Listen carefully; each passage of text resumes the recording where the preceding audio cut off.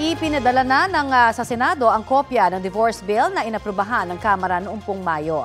Ayon kay Albay Representative Edsel Agman na isa sa mga may akda ng panukala, ipinadala nila ang kopya ng divorce bill nito pong lunes kasama ang isang sulat kay Senate President Cheese Escudero.